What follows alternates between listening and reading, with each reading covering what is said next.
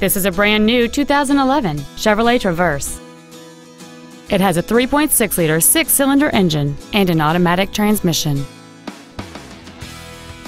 Its top features include heater vents for rear seated passengers, cruise control, keyless entry, a CD player, an illuminated driver's side vanity mirror, privacy glass, a low tire pressure indicator, traction control and stability control systems, an anti lock braking system, and a rear spoiler.